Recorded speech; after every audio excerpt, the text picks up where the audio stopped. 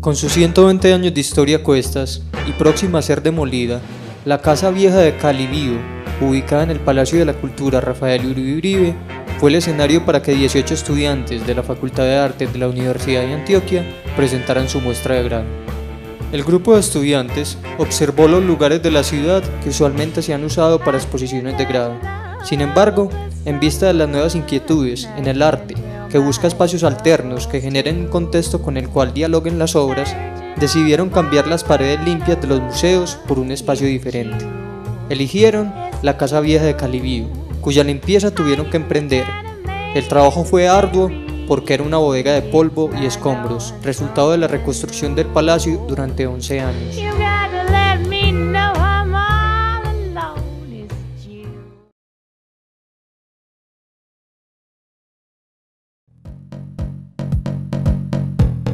Todo el mundo sabe que la Cenicienta vivía en una madriguera, privada de lo que realmente le pertenecía, para beneficio de quienes la habían desplazado y abusaban de ella.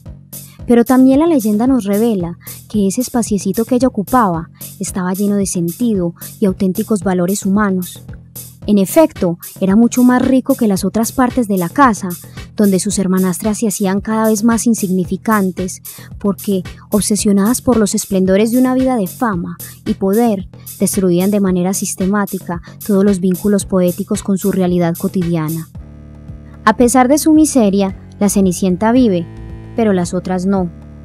La Cenicienta vive en un hueco es el título, ciertamente inusual, de la muestra de grado de un grupo de estudiantes del programa de Artes Plásticas de la Universidad de Antioquia.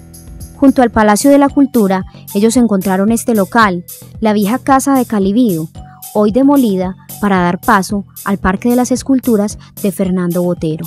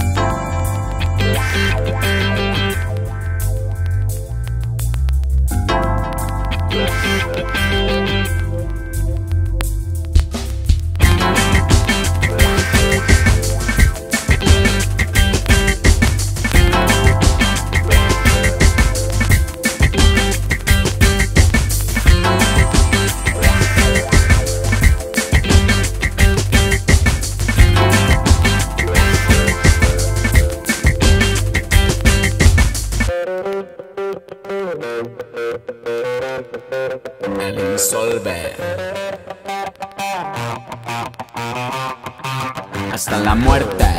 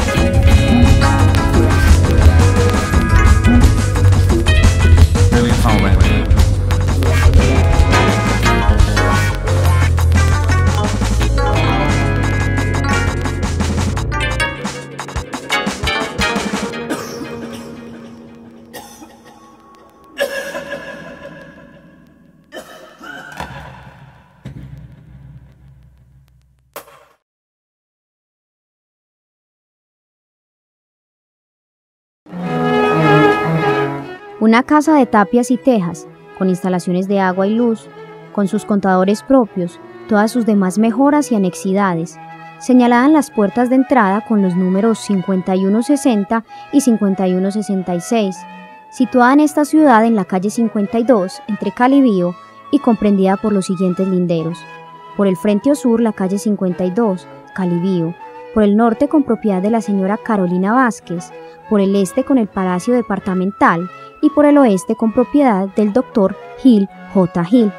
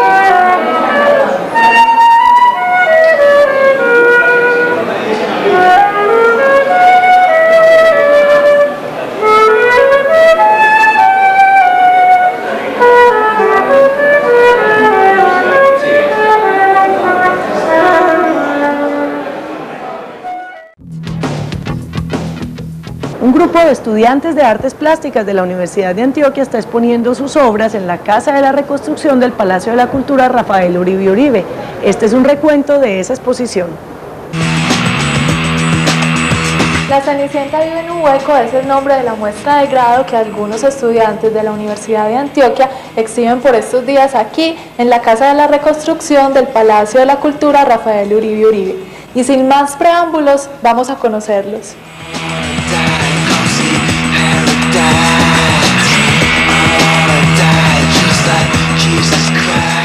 La Cenicienta vive en un hueco porque es prácticamente una metáfora de lo que pasa con la cultura en este país. Hay que tratar de que las empresas públicas y estatales le den más importancia para poder elevar la vida del hombre. La Cenicienta vive en un hueco porque no queríamos tecnicismos, queríamos fábula.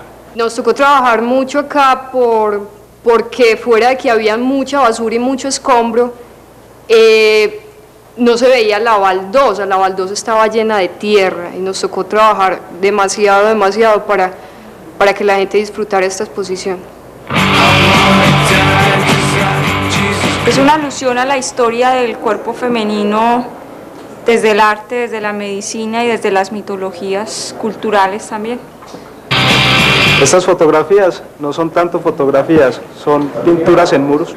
Eh, mi trabajo es una crítica a la mujer que se dedica al hogar y al hombre y se llama Hasta que la muerte la libere. El concepto que trabajo es el silencio, es la propuesta artística, manejando dos contextos muy diferentes. Trabajo con espacios naturales, la mayoría de ellos con un gran índice de destrucción, devolviéndole la belleza natural. La propiedad privada es el robo y lo nuestro arte de magia. Los humanos somos recipientes del dolor que se va acumulando en nuestras vidas. Mi, mi obra tiene que ver con la catarsis como la cura emocional, es el desahogo. El ritual de lo habitual es una mirada aparte de los actos cotidianos y de nuestra vida cotidiana. Piel, metal. Estado ambiguo entre la independencia y el querer tener contacto con el otro. Lo que yo quería con ese trabajo era que interactuara con el espacio de la casa y que aunque no estuvieran las personas, hubieran elementos que hablaran de la gente y de la ausencia de ellas. Es la mezcla de dos imágenes, una imagen, una imagen que es más material y otra que es más inmaterial, más trascendente. Mi trabajo es una percepción frente a los medios y habla del problema con el acto comunicativo. El trabajo es simplemente como el falo de la mujer. Y después de estar en este lugar, no puedo más que decirles que vengan a descubrir dónde vive la Cenicienta.